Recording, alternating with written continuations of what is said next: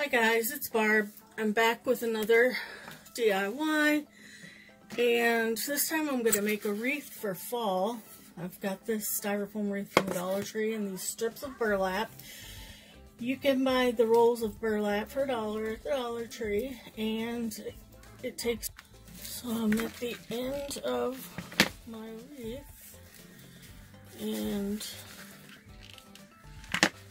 this all down so I'm getting so I got some so of course my camera quit recording but I put the jute on the top of this twisted it put it over top of the wreath and twisted it. I added some hot glue at the bottom and this is the wreath.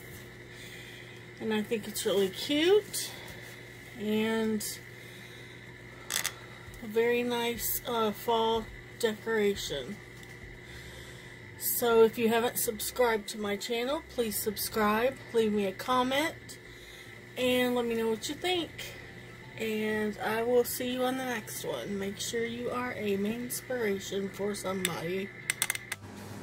Don't forget to subscribe to my channel.